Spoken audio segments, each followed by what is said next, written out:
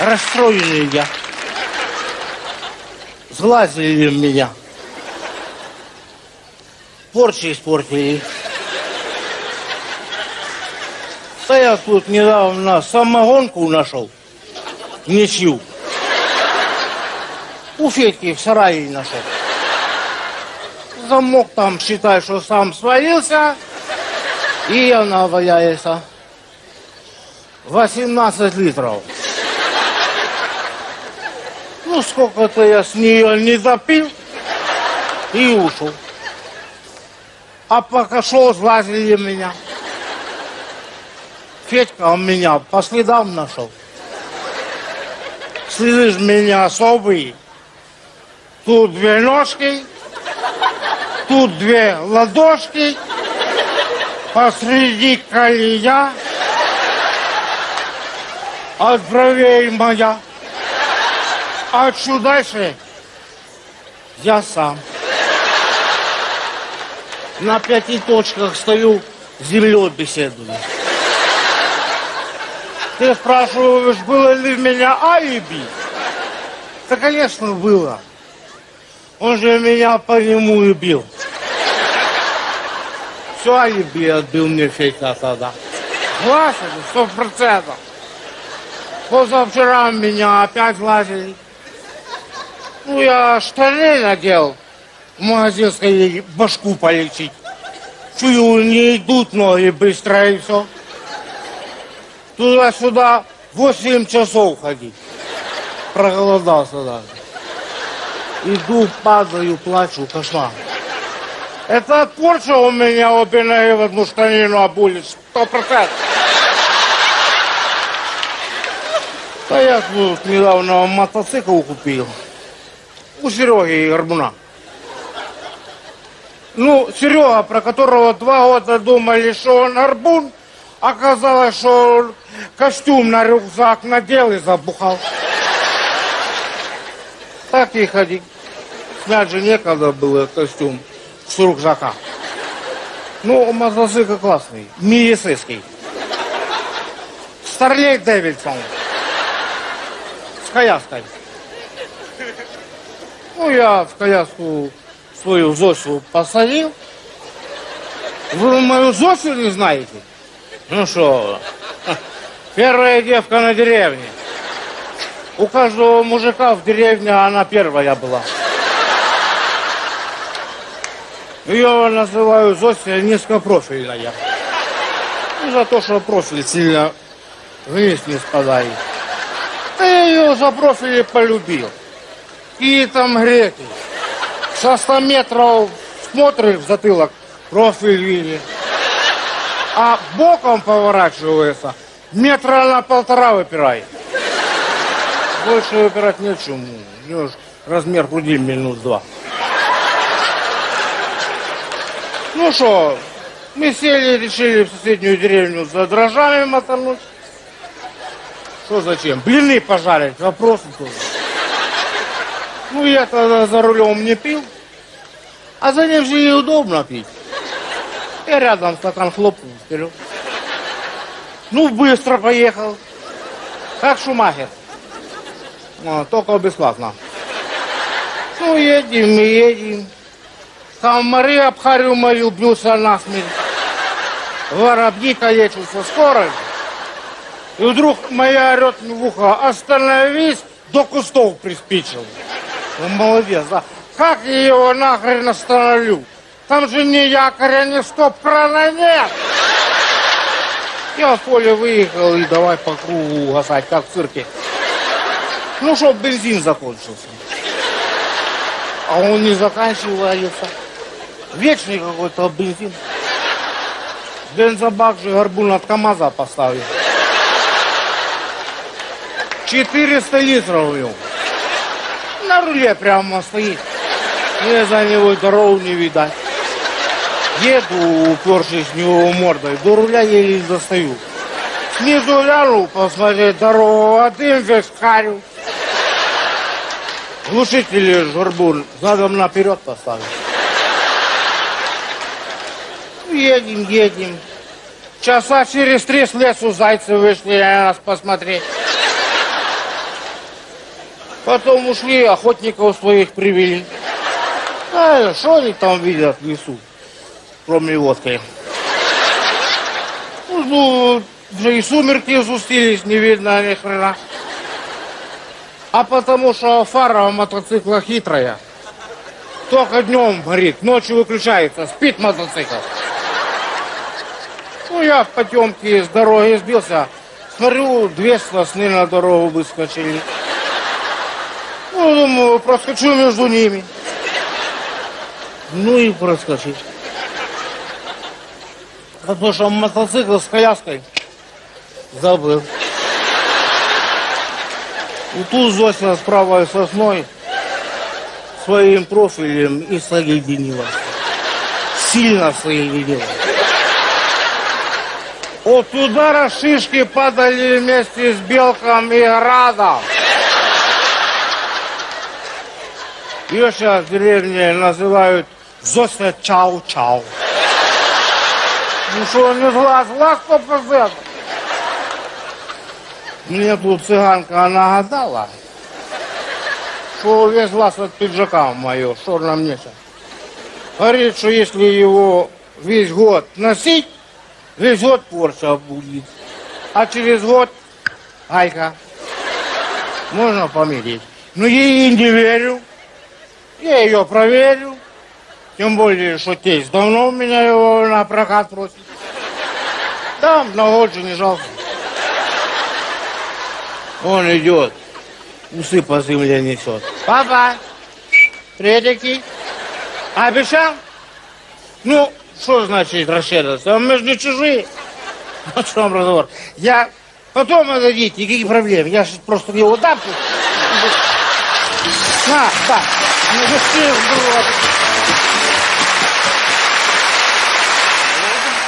Звание пчелы. К магазину подхожу тут недавно. Ребята наши стоят, лица радостные, опухшие. Я говорю, что опять что-то отмечали без меня? Они говорят, нет, мы на пасеку за медом ходили. Хозяин пасеки, говорят, уехал на неделю, так что пользуйся. Ну, я вообще пчел уважаю. Люблю их продукцию. Мед, медовуха, сотовая связь. Схожу, думаю, пока хозяина пасеки нет. И жену свою возьму, думаю. Валюша сразу согласилась. Сладкоежка моя. Без куска колбасы не уснет. Ну, подождал я, пока потемнеет. Взял ведра с Валюшей. Сели мы на велосипед и поехали. Едем, педали крутим, песни орем. За час пять метров проехали. Мало, конечно, но у него всегда скорость небольшая по лесу у водного велосипеда. Сосед помог Серегану, которого раньше Николаем звали. Тот нас быстро до пасеки домчал. У него такой же велосипед, водный, как и у нас, просто ноги здоровее. Ну, мы приехали, с велосипеда слезли, залегли и по-пластунски полезли, чтоб пчелы нас не раскусили. Подползаем. Во всех ульях темно. В одном только свет горел. Ну, я туда, где светло смотрю, шторы там не закрыты. Накурено. Спят пчелы в повалку. Рты разъявлены, крылья распластаны. Ну, носки даже не сняли. Устали, видно, план перевыполняли. И храпят страшно. На всю округу. Потом присмотрелся, оказывается, Валюша моя храпит. Ну, я ее разбудил. Ведро-то у меня в руках было. Смотрим, мужик какой-то в улье руку засовывает, вынимает, облизывает ее. И не местный, видно, мужик, трезвый. Я ему говорю, слышь, мужик, шел бы ты отсюда без меда. А он повернулся и смотрит на меня недобро так. Они редко, когда добро на людей смотрят, медведи наши. Медведь испугался, в лес побежал. Пчелы те культурные, полетели медведя провожать.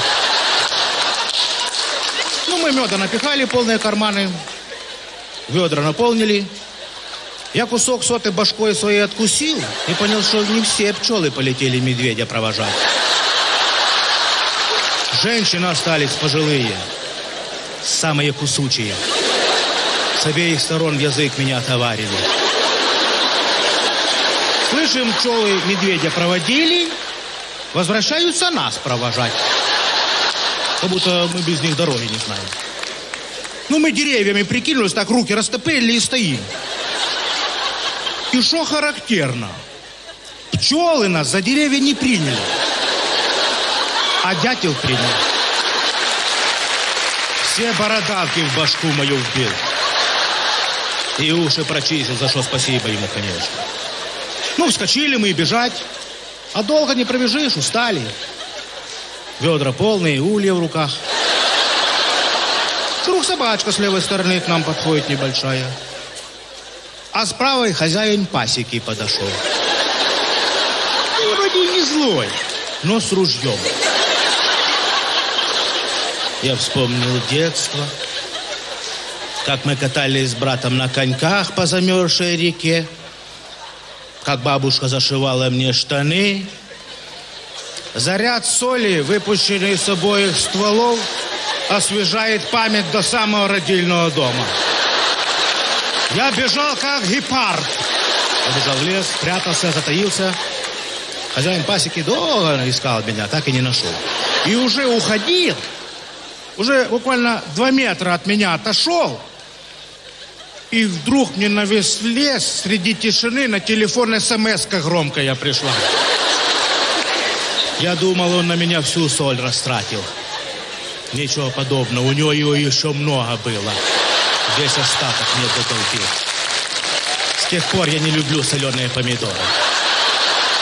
Я потом смс эту прочитал. Знаете, что было написано? На вашем счету 24 цента. Так я к чему рассказываю? Ребята, если идете на пасеку за медом, не на свою, вовремя проверяйте телефонный баланс. Спасибо.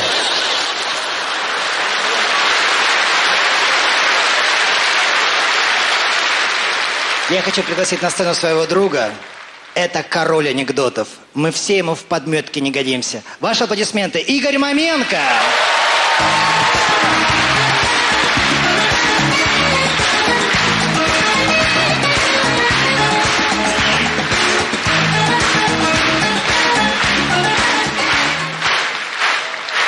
Огромное спасибо за аванс, дорогие друзья. Буду отрабатывать. Первый анекдот для любителей спорта. Представьте себе чемпионат мира по футболу, финал. Сборная Бразилии, сборная России играет.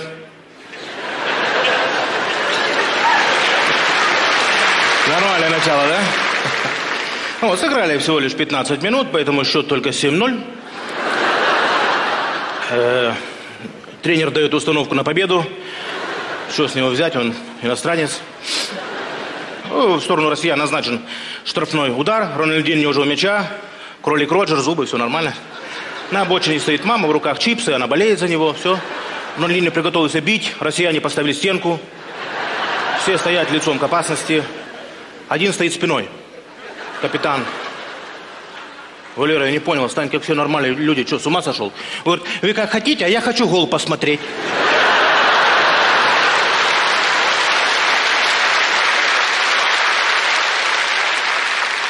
Два украинца выходят на сцену со скрипками. Интрига. Два украинца со скрипками. Нормально, да? Микола, играй. Я не хочу. Ти що, з ума сошов? Ми репетировали, грай, люди спеціально прийшли. Мене нема настроєння, я грати не буду. Ти що, здурів, вони заплатили сумасшедші гроші за білет. Я тобі сказав, Микола, іграй. Мене нема. Я тебе вже чув, що в тебе нема. Микола, іграй, тобі сказав. Я іграти не буду. Це моє останнє слово. Все, отак от не буду. Ну, не будеш, не треба. Дорогі друзі, ви прослухали каприз Миколи Паганіні.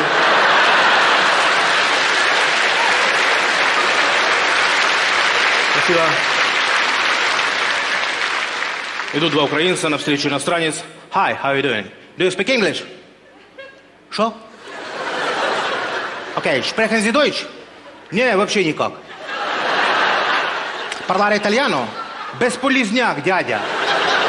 Або іспаньоль, я тобі сказав, ти що не поняв, іди туди спроси, у мене ніяк, понімай, вообще йди. Окей, okay, I'm sorry. і убіжав куди-то. Один другому, ти бачив, який поліглот? Чотири язика знає. Ну, що воно йому дало?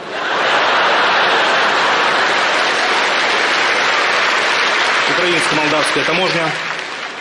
В купе поезда заходит молдавский таможенник. Добрый вечер, представитель таможенных властей Иван Стынка. Ну что, у вас тут нормально все с документами, я надеюсь, как у вас? Тут предметы старины, живопись или, может, наркотические средства, или, не дай бог, оружие везете? Муж говорит, все есть. В смысле, я спрашивал, я говорю, все у меня есть. Ага. У вас, да? Ну, естественно, я же один тут. Ну да. Ага. Значит, я насчет живописи сказал, что и что, действительно, вот это у вас живопись? Я когда сейчас спросил у вас про живопись, говорит, значит, Венецианский дворик гвардии, боярыня Морозова, Сурикова, Рубенс, Веласкес, все в оригиналах, пожалуйста, все везу. Хорошо, молодец. И что, и насчет вот это, что оружие, когда сейчас я спросил, говорит, значит, два автомата Калашникова, восемь автоматов УЗИ, пистолета ТТ, три штуки. Угу. И наркотические средства есть? Героин, кокаин, экстази, 700 грамм, можете проверить.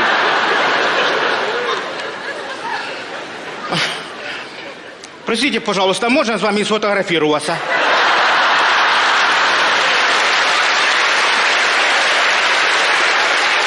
Спасибо. Дорогие друзья, в последнее время к нам из-за океана прилетают различные лекторы, различные проповедники, которые читают нам разные лекции. Нужны, не нужны, никто нас не спрашивает. В общем, занимаются тем, что учат нас с вами жить. И сегодня я хотел прочитать лекцию от имени вот такого вот грамотея, который прочитает нам лекцию о славянах. Они считают, что они все уже о них знают. Итак, начинаем. Э, добрый день, дорогие зрители. Э, я есть профессор Даунтаунского университета проблем славянских народов. Э, из, э, углубленно изучив жизнь и быт древних славян, я сегодня хотел бы рассказать вам непосредственно, что есть такое славяне, как национальность. Сейчас расскажу вам. Итак, земледелие и скотоводство были славянам уже тогда очень хорошо известны, поэтому они ими не занимались. Несмотря на то, что утро считалось самым трудным временем для славян, они находили в себе силы собираться небольшими группками по три человека и усиленно о чем-то соображать. Yes. Отсюда и пошла крылатое выражение «соображать на троих». Э, касаемо славянских мужчин, они вели преимущественно ночной образ жизни. То есть днем они спали, а ночью гуляли, освещая себе дорогу под глазными фонарями, которые они умело наставляли друг другу кулаками. Славяне были очень бедные люди, и вместо носков они носили портянки. Особенно бедные славяне носили одни портянки на двоих. Есть, на двоих одни портянки. Таких славян называли однопартийцы. Новый год славяне очень сильно любили праздновать в бане. Они его праздновали очень долго, и тот день, в который они все-таки возвращались себе в семьи, для их жен был самый настоящий праздник, который по сей день так и называется 8 марта. Спасибо. Thank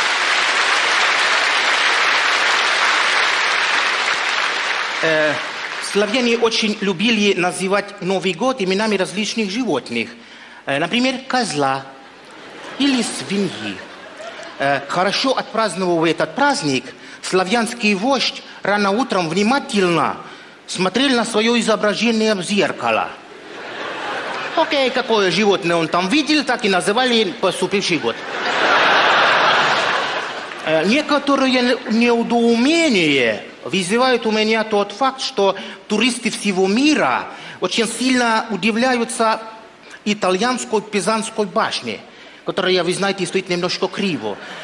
Дело в том, что в славянских деревнях В таком состоянии находятся абсолютно все строения. Yes. А также основная часть взрослого населения. Славяне были заядлые грибники, они любили собирать и готовить грибы. Но прежде чем пробовать, они давали их попробовать, э, но не очень любили собак, давали пробовать теща. Если она эти грибы съедала и продолжала э, веселиться, такие грибы назывались съедобные. Yes. А если она синела, и в нее изо рта, э, извините, пена полезла, такие грибы назывались полезные.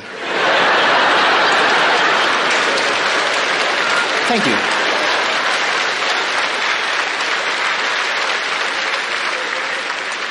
Есть мнение, что именно славяне вместе с индусами придумывали э, шахматы. Это был э, некоторое разделение труда. То есть индусы придумывали шахи, а славяне yes, маты. За детьми славяне обычно ходили в капусту, а за хорошим настроением э, в коноплю.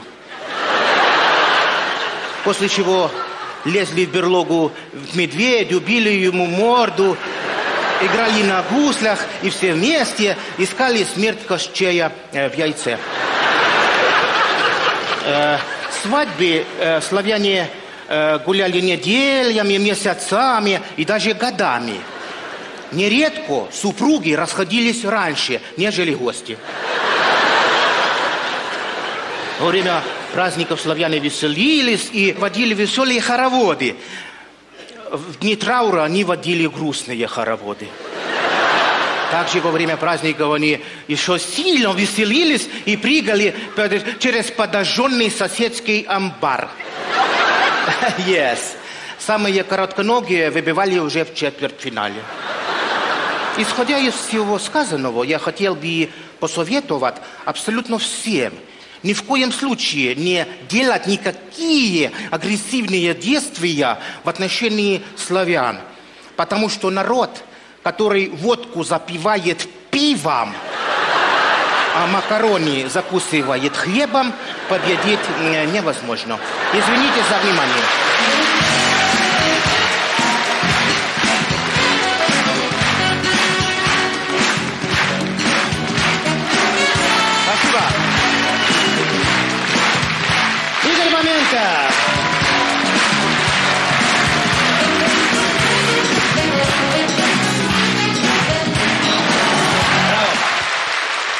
Вообще-то я артист цирка. Канатоходец. Ну, я думаю, уже заметно. Вот, ну, могу и песню спеть, и фокус показать, и шпагу пролететь. Мы вообще, артисты цирка, народ мультисистемный. Вот, взаимозаменяемость, на самом деле, полная. Ну, потому что много работаем над собой, репетируем. Вот. Расслабиться практически времени нет вообще. Ну, вот. ну мы находим, конечно, что там говорить. В общем, вчера у артиста выходной был, и нам внезапно вдруг зарплату выдали, не подумавши. О, а мне выпить захотелось, на самом деле. Всегда последнее время совпадает. Как зарплата, так не выпить хочется. Что такое, не знаю. О, жена как-то спросила, зачем ты водку пьешь? Я ей говорю, потому что она жидкая. Была бы жесткая, и я бы ее грыз. Все стало сразу. Сразу. О, ну, нас, на самом деле, пьющих в цирке уже практически не осталось. Двое только. Последний из моикан. Я и Леня Гутоперчивый. Тут тоже, конечно, специалист широчайшего профиля. Он до цирка работал аналитиком на свадьбах. Не знаете, что такое? Это человек, который проверяет у гостей, аналиты ли у них. понимаете? Вот, ну, сейчас уже работаем вместе. Я вчера его с собой, на самом деле, на это дело вот, и прихватил. Тот после репетиции даже костюм ящерицы снимать не стал. Джинсы, вьетнамки, рубашечку и все, к пьянке готов. Ну и пошли. Купили вина, пять бутылочек, вот, чтоб всем поровну. О, зашли в парк, нашли кусты подходящие, стали пить из горла, как гарниз. Гарниз-то видели? Мы и так. Вот. А оказалось, что в милиции про эти кусты знали. Да, и когда надо было план по алкоголикам выполнять, они с этих кустов по 3-4 урожая в день собирали. О, ну, такие фрукты им попались первый раз, честно говоря. В общем, только мы три бутылочки отгорнили, только мы за четвертую принялись, тут, как говорится, вдруг без стука к нам в кусты заявились о, милиционеры. Капитан, сержант и собачка небольшая милицейская. Мусоршнауцер. Вот.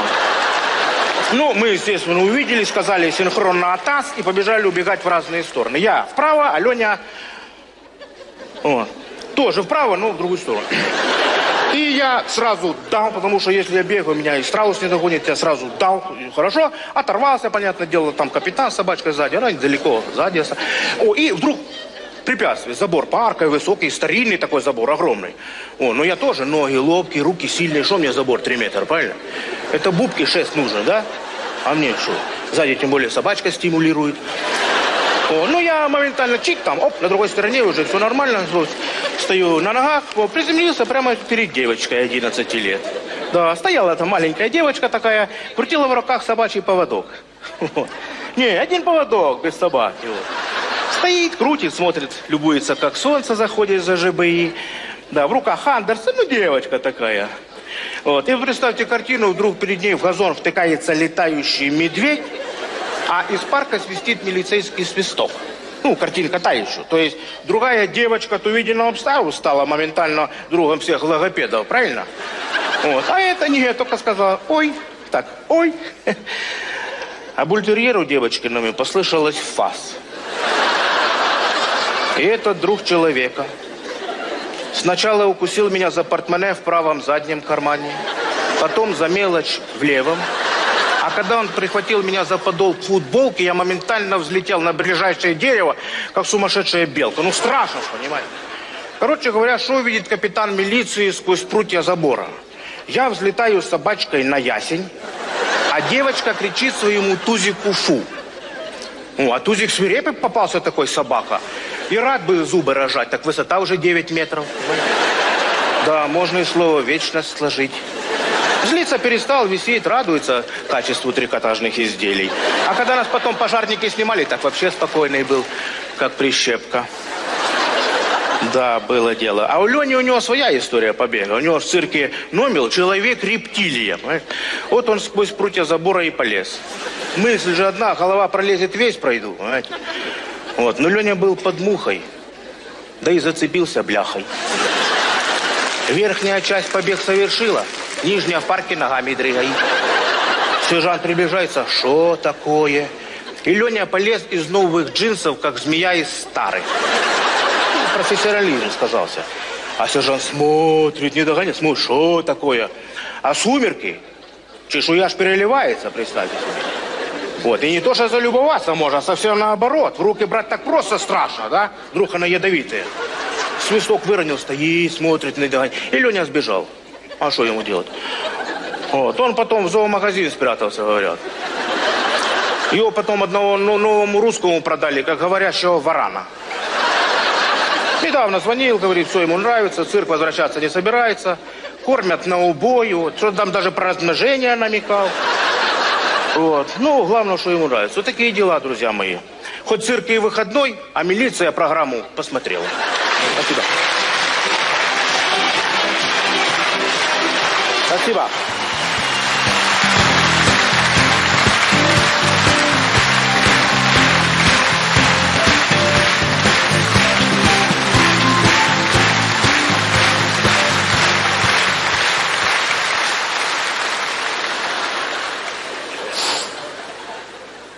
Что, не узнали меня? Меня сейчас никто не узнает. Трезвый я. Что, не пью? Клеш меня укусил цифалитный. Врач укол поставил, сказал год не пить. Иначе в позу кузнечика завернуть может. Дай погибнуть можно, не дай бог. Ну что, три дня мне жить осталось трезвому. Отопьюсь, хоть заживу по-человечески. Сейчас хожу по деревне, как бельмо в глазу. От всех перегаром пахнет. От меня одеколоном несет, как от Диора, аж противно. Мужики у нас звери, вы знаете. Как узнали, что мне пить нельзя, так все выпить зовут, и раньше не знают. Бабы тебе просят самогон им погнать, знаю, что ни капли не трону. А я литр выгоню на три килограмма похудею от переживаний. Ну кто-то же ее выпьет. К врачу каждый день хожу, прошу разрешения выпить. А он знаете, что сказал? Год только кефир. А вы знаете, сколько надо этого кефиру выжать, чтобы хоть чуть-чуть забалдеть? 40 литров я его высосал у брата на молокозаводе, а счастье во мне было, как от стакана пива. Зачем мне выпускают только заводы целые работают? Да я ж на беду возле магазина живу. Продавщица наша, Вера Ильинична, как всегда, зовет водку с вином разгрузить. Раньше как я на разгрузку шел? Шо вы? Штаны растягивались, трусы лопались напополам, так шагать. Сейчас как на каторгу бреду. Ящики тягаю, бутылки звенят, как дети кричат. Мясо от ребер отстает. Один раз пьяный грузчик пол-литровку выронил. Она до земли еще не долетела, я сознание потерял на неделю. Бутылку не спасли. Ну вот, у ребята, слава богу, земли высосали.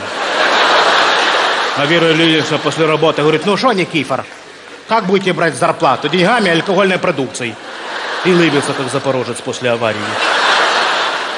Я деньгами беру погаными, а само слезы такие по 150 грамм капали. Я, правда, по трезвому для себя много нового открыл. Узнал, почему салат называется селедка под шубой. Раньше же до селедки же не доедал. Так, сверху ковырну носом и сплю там. Все было по-человечески. Вы не поверите, у меня стаканы стоят в серванте, граненые по пояс в пыли. Стыдоба, я сам знаю. Ничего, топью, скоро же живу по-человечески. На рыбалку хоть нормально схожу. Часто я как хожу на рыбалку? Хоть стой, хоть падай. Как дурак хожу, с удочкой наживкой. Один там идиот такой. Я поплавок настраиваю, они наливают. Я крючок привязываю, не наливают. По стаканам буль, буль. А шеха на всю речку. А я плачу-то рыбачу. Раньше-то я как ходил на рыбалку? Ну что без удочки. Пришли, помню, поставили на огонь уху из свиной тушенки. Сидим, выпиваем, варим, помешиваем уху. Вот, огонь только забыли развести. Да и тушенку забыли открыть, так варили ее прямо в банке. Да так мы ее сырую и сожрали тогда. И огурцы, и помидоры, и картошку с землей тут же на огороде. До речки не дошли тогда. Все было по-человечески. На пьяных, вы знаете, смотреть не могу. Они как назло прут отовсюду, как зомби. Вчера Анусик с Лесиком шли. По 30 лет пацанам, а выглядят старше пирамид.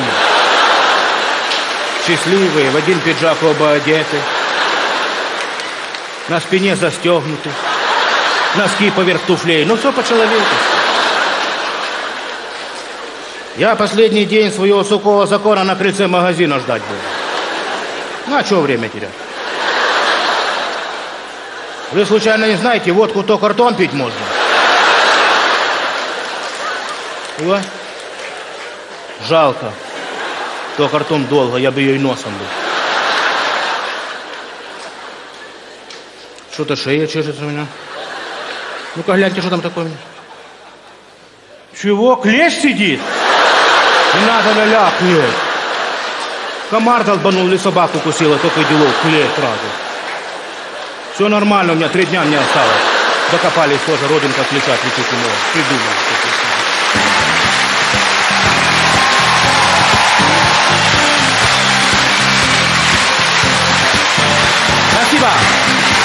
Спасибо.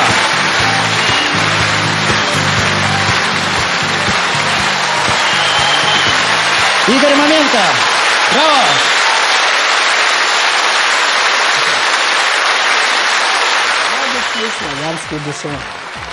Я э, есть профессор Даунтаунского университета проблем э, славянских народов. Сегодня я сейчас немножко хочу читать вам лекцию о э, славянах. Э, с самого рождения славяне очень любили дразниться и показывать друг другу э, язык. Именно по этой причине их и э, называли э, язычниками. Славяне были такие трудолюбивые, что в году у них было всего лишь два праздника. Yes, это были Новый год э, и каждый день. Земледелие и скотоводство были славянам очень хорошо известны, э, поэтому они ими не занимались. Нельзя не сказать о сообразительности славян. Несмотря на то, что утро всегда считалось и считается самым трудным временем, у славян они находили в себе силы собираться небольшими группками по три человека. Yes, и усиленно о чем-то соображать. Yes. Э, именно отсюда и пошла эта известная крылатая фраза э, «соображать на троих». Народное творчество славян было известно уже в те далекие времена и известно по сей день. Особенно чудесные славянские стаканы. Есть, это действительно интересно. Они чудесным образом вкладываются друг в друга и помещаются практически в любой карман. Называются они очень просто. Э, матрешки. Э, ну что еще можно сказать о славянах? Э, практически любой левша мог запросто подковать блоху. Но люди недолюбливали левшей, потому что все их подкованные блохи Днем и ночью бегали туда-сюда, топача на всю деревню. И мешали спать. За детьми славяне ходили э, в капусту, а за хорошим настроением э, в коноплю. После чего они лезли в берлогу, били морду медведю, yes, играли на гуслях и все вместе искали смерть Кощея э, в яйце. Свадьбы на Руси гуляли неделями, месяцами, э, даже годами. Нередко супруги расходились раньше, нежели гости. Расходились славяне очень быстро и без всяких э, адвокатов. Например, отрубание головы одному из супругов считалось вполне убедительной причиной для развода. Во время праздников славяне водили веселые хороводы. В дни траура они водили грустные хороводы. Также во время новогодних праздников славяне веселились и прыгали через подожженный соседский амбар. Yes. Самые коротконогие, к сожалению, выбивали уже в четвертьфинале. Э, исходя из всего вышеперечисленного, я настоятельно советую абсолютно всем ни в коем случае не начинать никакие агрессивные действия в отношении славян. Потому что народ, который водку запивает пивом, где о макароне закусывает хлеба, победить невозможно. Извините за внимание. Спасибо.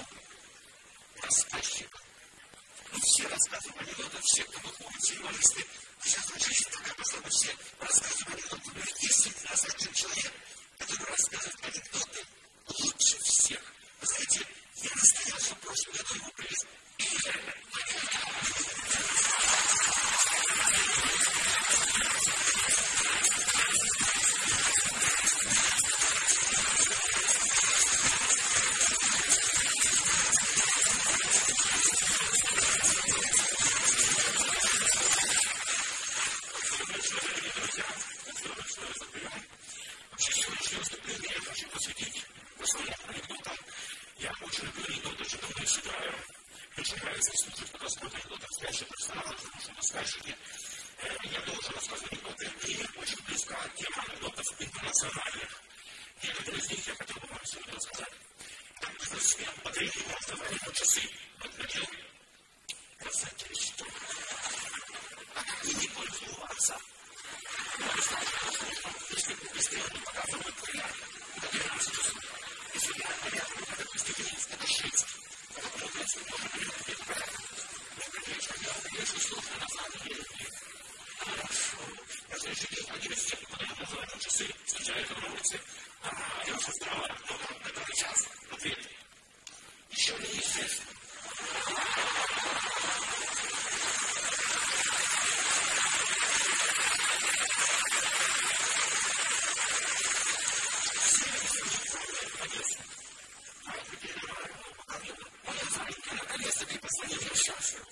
Ustedes no saben eso, pero yo sé si vosotros no podéis Ahora se llevó tus hijos hijos.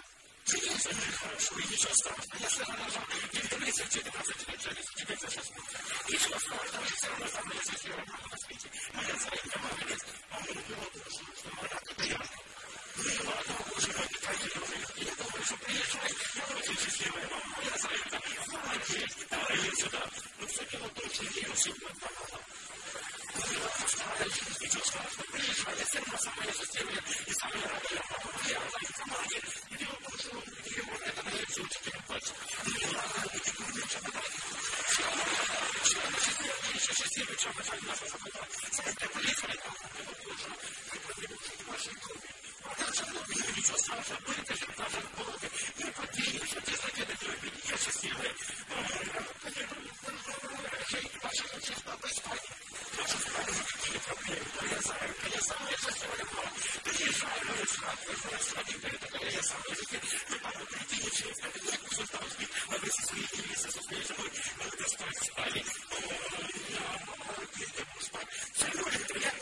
Сейчас я хочу, чтобы он раскопал.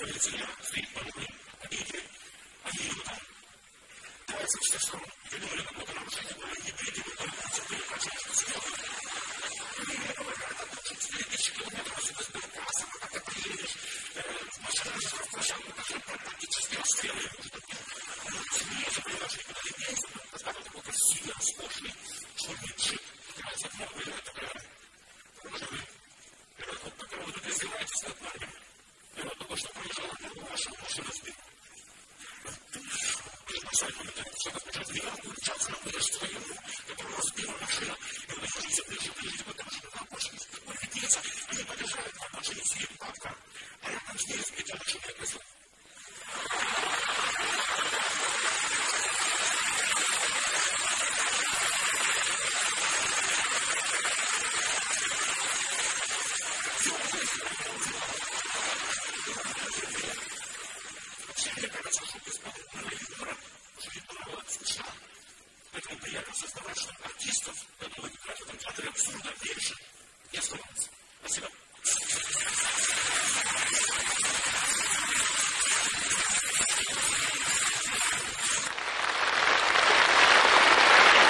Хотел бы коснуться немножко, поговорить немножко, так назовем, о, о таком абсурдном юморе. Вы знаете, что это такое. Ну, вообще абсурдные ситуации, они более уместны, скажем, где-нибудь в психиатрической больнице. Э, приходит человек, доктор спрашивает, фамилия? Он говорит, Наполеон. Ну, вы нас этим не удивите. У нас полководцев пруд пруди. А я не полководец, я торт. Нормальный ответ. Заходит тоже один, говорит, я глухой, но наполовину. Глухой, но пол... А, то есть у вас одно ухо слышит? Не, я про- просто наполовину глухой. Хорошо, давайте протестируем, встаньте туда, ко мне спиной, я сейчас назову цифру тихонечко, вы мне повторите потом. Готовы? Да. 44. Тут поворачивается, говорит, 22. Наполовину глухой, все правильно. Заходят двое. Фамилия? Ивановы. А, вы братья? А Почему братья? Бывают и другие варианты. А какие еще варианты? Мы, например, сестры. Ну, это все в психиатрической больнице, понятно. Ну, в быту бывает не менее интересные, курьезные ситуации. Стоим с приятелем на автобусной остановке. Э, К нам подходят два молодых парня. Один из них обращается ко мне. Мы, приезжие из Молдавии, вот хотим посмотреть ваш чудесный город. Я говорю, похвально, продолжайте осмотр, действительно очень интересно. Вдруг подходит рейсовый автобус, и один из них спрашивает у меня, скажите, я на этом автобусе доеду до Красной площади? Я говорю, нет. Второй спрашивает, а я? Ненормальный вопрос, идиотский ответ, абсурдные действия. Это все на самом деле рядом, надо только посмотреть. Представьте ситуацию, мы празднуем день рождения с приятелем в ресторане, выходим покурить, следом за нами выходит в лом пьяный человек, просто готовый, и бежит туда, к стоянке таксистов, слышен диалог с таксистом. Шеф, свободен? Да. Пошли потанцуем. Иногда вообще складывается впечатление, что вокруг идет пьеса театра абсурда. Иногда люди говорят на одном языке, но при этом друг друга не понимают. Ну, представьте, терпит аварийную посадку небольшой одномоторный самолетик где-то э, в джунглях, выходит летчик, мало чего понимая, бродит ну, слава богу, все мягко сел, но страшно, что ж дальше? И вдруг навстречу идет все племя во главе с вождем, у вождя эти висят эти перья, у всех носу кольца. Ну, ребята еще те, с копьями. Он понимает, что надо сразу с ними договориться, чтобы не сажали раньше времени. Поэтому он идет с распертыми объятиями, улыбка почти вокруг головы у него. Он такой, здравствуйте, я приехал к вам с миром. Я прилетел оттуда. Вот эта железная птица, самолет. Я на ней прилетел. Я должен его починить, чтобы взлететь и подарить вам всем подарки. Потому что я и вы, мы друзья, и будем с вами дружить. Вождь говорит, ну это все понятно, а что ты разговариваешь как придурок? Что касается Одессы, там абсурд это уже не юмор, это уже образ мышления. Скажите, пожалуйста, вы играете на рояле? Нет, а вы? Да. Что да? Тоже нет? Вы слыхали, вчера таки умер Рабинович. Что вы говорите? Тише, вон он идет. Мне сказали, ты купил машину. Ну, сказали, так купил. А свет красивый, свет потрясающий. Ты когда-нибудь закат солнца видел? Да, ну вот такой же, только зеленый. Захожу в магазин, сидит продавщица в такая полирует на, но, но, напильником ногти, взгляд никуда. Я говорю, кстати, у вас баранки свежие? Нет. Я говорю, а кексы? Возьмите лучше баранки. Ну, представители зеленого змея, понятное дело, тоже не отстают. Не отстают. Костя, ты водку хочешь? Нет. А будешь? Да. В магазин заходит пьяный человек, видит продавца девушку. Девушка, слышишь, вот эта бутылочка такая беленькая, с клубничкой, что это за прелесть такая? Что это, скажи, дядя, что это такое? Как она... Не-не-не, про... О, вот это. Что это такое у тебя? Ой-ой-ой, она говорит, йогурт. Ай, йогурт. Две бутылки к желке, пожалуйста. Представьте себе, на обочине стоит милицейская машина, рядом «Жигуленок». Оттуда милиция вывела человека. Они его по всем правилам ругают, что-то записывают. Ну, как говорят, у нас разводят. Человек стоит, понял, что попал, и идет развод. Кто-то пишет протокол, кто-то говорит, сейчас машину конфискуем, 200 километров надо до, до сбергаза. Ну, все как все. И вдруг э, останавливает такой роскошный черный джип, опускается стекло, и мужик сообщает, ребят, вот вы пока вот этого человека мучаете, вот это только что проезжало вот недалеко, вот отсюда, я километра четыре. Одного вашего машина сбила, так что думайте, и уехал. Те, естественно, садятся в машину, включают мигалку, бросают этого бедолагу, и мчатся туда, где ихнего сбила машина, на помощь ему все. Вдалеке действительно что-то такое виднеется, они ближе, ближе подъезжают, у обочины сидит бабка, и рядом с ней сбитой машиной козел. Я думаю, что козел выздоровеет. Очень хорошо, что артистов, готовых играть в этом театре, абсурда меньше не становится. Спасибо.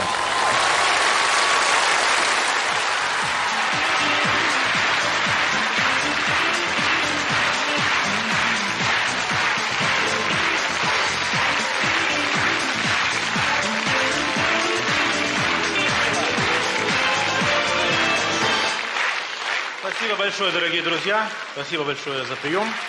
Сейчас я хотел немножко порассуждать на тему так называемого абсурдного юмора. Все вы знаете, что это такое.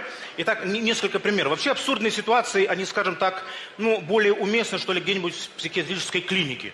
Ну, представьте себе, принимает очередного больного, доктор спрашивает, фамилия? Наполеон. Говорит, ну, голубчик, ты нас этим не удивишь, у нас тут полководцев пруд пруди. А я не полководец, я торт. Или же заходит прямо двое, сразу двое заходят. Фамилия Ивановы. Вы что, братья, что ли? Ну почему сразу братья? Бывают и другие варианты. Ну какие еще варианты? Ну и, например, сестры. Или же приходит человек, который заявляет, доктор, я глухой наполовину, ровно наполовину. А, то есть у вас одно ухо... Нет, просто наполовину глухой. Говорю, так не бывает, ну давайте вы станьте туда лицом, ко мне спиной, я вас сейчас протестирую, я вам сейчас назову цифру, тихонечко, вы повторите. Стали? Готовы? Хорошо. 44. Врач. 22. Ну, там это все понятно. Тем не менее, в быту случаются не менее интересные, курьезные, смешные случаи. Стоим с приятелем на автобусной остановке, подходят два молодых парня. Здравствуйте, мы приезжие из Молдавии. Вот приехали посмотреть на ваш чудесный город. Ну что ж, молодцы, продолжайте осмотр, действительно очень интересно. Вдруг подходит рейсовый автобус, один из них спрашивает у меня, скажите, пожалуйста, на этом автобусе я доеду до Красной площади? Я говорю, простите, нет. Второй спрашивает, а я? Немыслимые вопросы, идиотские ответы, абсурдные действия. Это все это рядом, надо только последить. Празднуем день рождения приятелей в ресторане. Выходим покурить, следом за нами идет влом пьяный человек, дупель. Убегает на стоянку таксистов, слышен диалог с таксистом. «Шеф, свободен?» «Да». «Пошли потанцуем».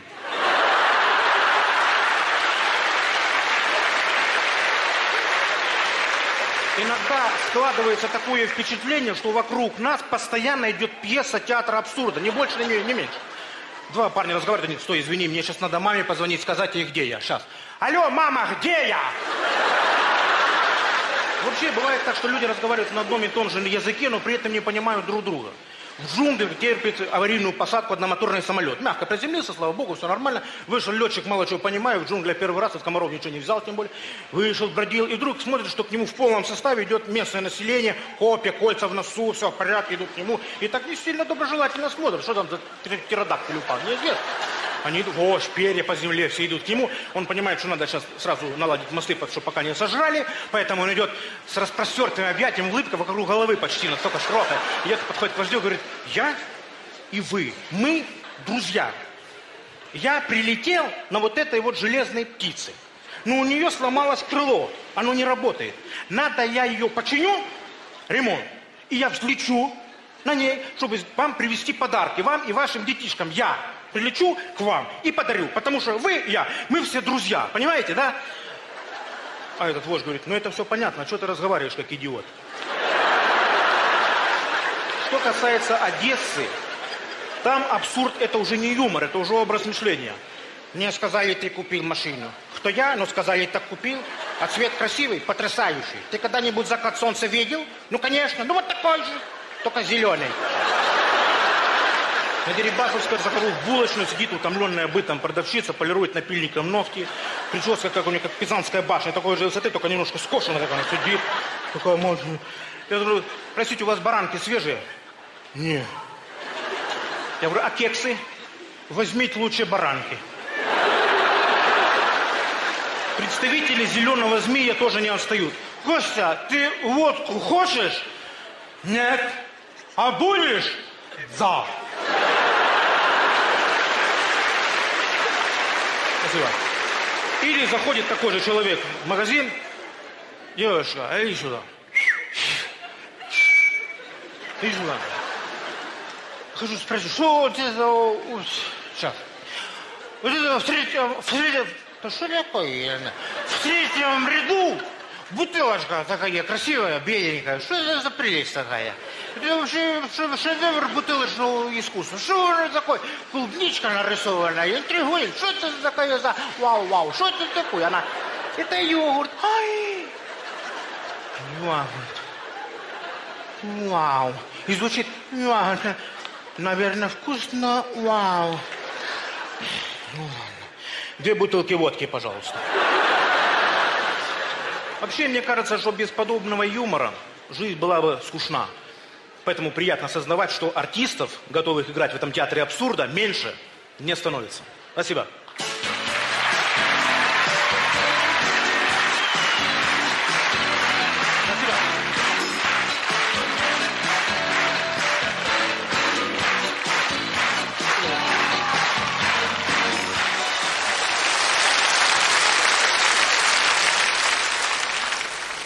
По старой доброй традиции пару анекдотов. Представьте себе, узбек едет на верблюде.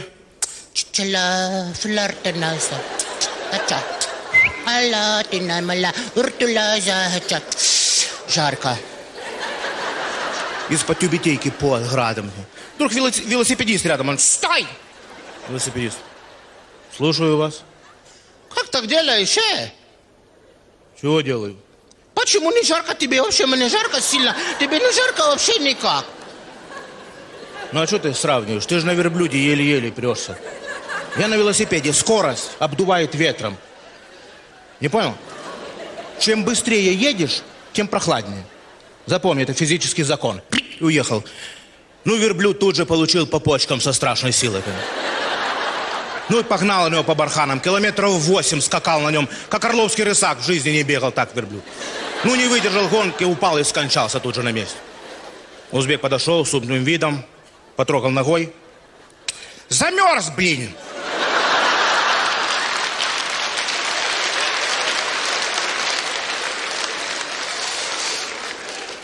Приходит к доктору фермер. Доктор говорит, слушаю вас. Да, у меня все нормально. Вы знаете, с женой проблема. Последнее время какая-то депрессия постоянно у нее. Она плачет, она раздражается постоянно. Ну, тогда вопрос такой несколько интимного характера. Как давно вы были с женой? Ну, как с женой, вы меня понимаете? О, я не помню, давно это было. У меня сейчас страда, я в поле, мне некогда. Жена там, я не успеваю никак. Говорю, не, ну так нельзя. Это жена, это женщина, вы должны как-то так. Ну, а когда у меня нет времени вообще? Вы далеко у вас поле находится от э, фермы? Ну, километра полтора. Я вам посоветую, сделайте так. Если вы хотите, чтобы жена вам, к вам пришла, берете ружье, стреляете вверх, она услышит, придет к вам, ну и вы там с ней. Заодно и покушайте, так что давайте все. Гениально! Уходит, приходит через две недели, весь в слезах. Он говорит, ну что, помог мой совет? Говорит, да вы знаете, сначала все было нормально, и жена была довольна. Потом начался охотничий сезон, больше я ее не видел.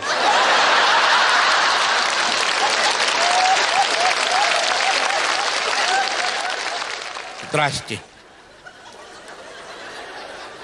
Меня зовут Сидоренко Николай Сергеевич.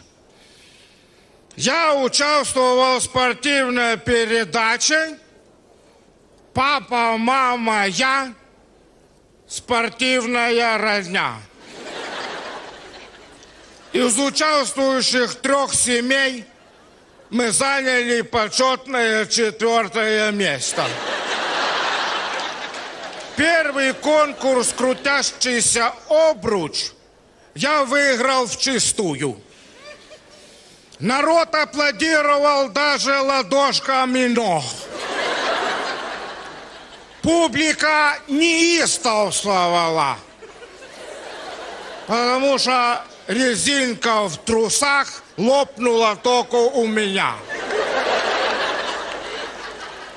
Следующий конкурс был бег по бревну.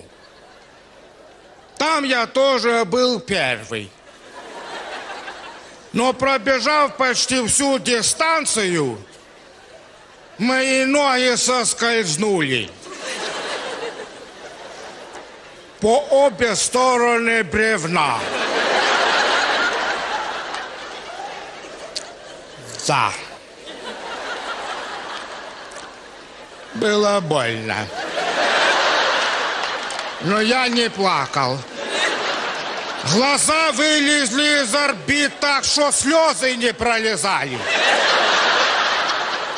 Публика неистовствовала. Последующие два конкурса я пропустил. Следующим был конкурс «Прыжки через коня». Через живого коня. В самом начале я, как мужчина, подошел и попросил коня лапу. Но судья соревнований сказал, что у коня лапу сзади не просят. И оказался прав. Я потрепал коня по щекам, сзади. И он тут же дал мне лапу. Молниеносно дал. От удара правой задней лапы коня в левое полушарие моей головы я сильно устал. И прилег отдохнуть. Сын сказал, что искры из моих глаз тушили восемь пожарных машин. Публика неистовствовала. Последующие два конкурса я пропустил. Следующим был конкурс метания ядра. Я был великолепен. Дело в том, что я единственный из всех метателей, кто попал в мишень. В свою тещу. Публика неистовствовала. Жалко, что теща быстро очухалась и нашла меня. Последующие два конкурса я пропустил. На конкурсе «Пингвин» мы ныряли с вышки в бассейн. Правила простые. Первое место у того, у кого меньше всего брызг. Меньше всего брызг было у меня. У меня их вообще не было. Не попал я в бассейн. Публика неистовствовала. Последующие два конкурса я опять пропустил. Выплюнул кафель. Я пошел на конкурс бокс. Наша семья Сидоренко попала на семью Валуевых. Я попал на папу Колю. Я одел перчатки. Валуев почему-то одел всего одну. Он, он оказался приветливым парнем. Я ему улыбнулся. Он улыбнулся мне, помню. Больше я ничего не помню. Говорят, что публика неистовствовала.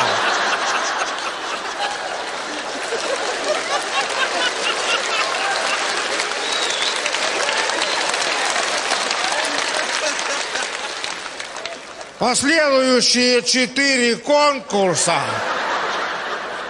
а также финал награждения, свадьбу племянника, сельхозперепись и день рождения Пьехи я пропустил.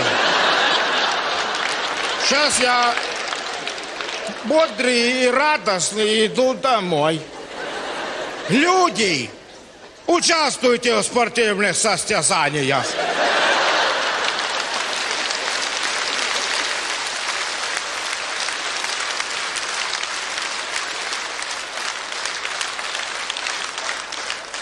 Спорт – это здоровье, сила духа и жена молодуха. Занимайтесь спортом. А с меня хватит, будьте неладны.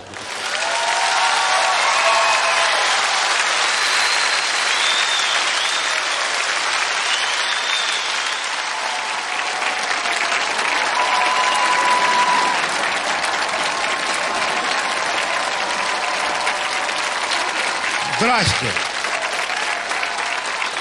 Меня зовут Федоренко Николай Сергеевич.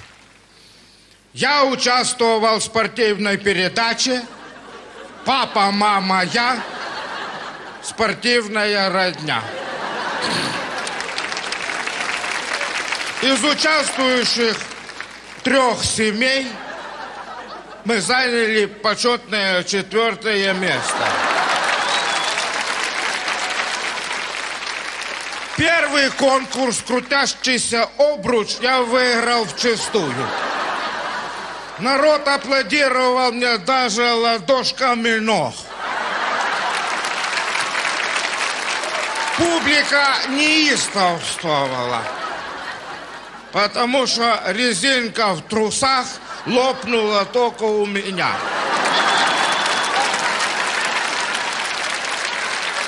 Следующий конкурс был бег по бревну. Там я тоже был первый. Но пробежав почти всю дистанцию, мои ноги соскользнули. По обе стороны бревна. Да. Было больно. Но я не плакал. Глаза вылезли из орбит так, что слезы не пролезали. Публика неистовствовала. Последующие два конкурса я пропустил. Следующий конкурс был прыжки через коня. Через живого коня. Самом начале я, как мужчина, подошел и попросил у коня лапу. Но судья соревнований сказал, что лапу у коня сзади не просят. И оказался прав. Я потрепал коня по щекам сзади. И он тут же дал мне лапу. Молниеносно дал. От удара правой задней лапы коня я сильно устал. И прилег отдохнуть. Сын сказал, что искры из моих глаз тушили восемь пожарных машин. Публика неистовствовала. Последующие два конкурса я пропустил. Следующий конкурс был метание ядра. Я был великолепен. Дело в том, что я единственный из метателей, кто попал в мишень. Свою тещу. Публика неистовствовала. Жалко, что теща быстро очухалась и нашла меня. Последующие два конкурса я пропустил. На конкурсе «Пингвин» мы ныряли с вышки в бассейн. Правила простые. Первое место у того, у кого меньше всего брызг. Меньше всего брызг было у меня. У меня их вообще не было. Не попал я в бассейн. Публика неистовствовала. Последующие два конкурса я опять пропустил. Выплюнул кафель. Я пошел на конкурс бокс. Наша семья Сидоренко попала на семью Валуевых. Я попал на папу Колю. Я одел перчатки. Валуева почему-то одел всего одну. Он оказался приветливым парнем. Я ему улыбнулся. Он улыбнулся мне, помню. Больше я ничего не помню. Говорят, что публика неистовствовала. Последующие четыре конкурса, а также финал, награждение, свадьбу племянника, сельхозперепись и день рождения Пьехи я пропустил. Сейчас я бодрый и радостный иду домой. Люди, занимайтесь спортом. Участвуйте в спортивных состязаниях.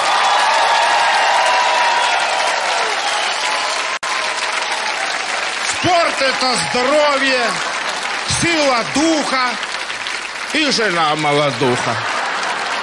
Занимайтесь спортом. А с меня хватит. Вот, ладно.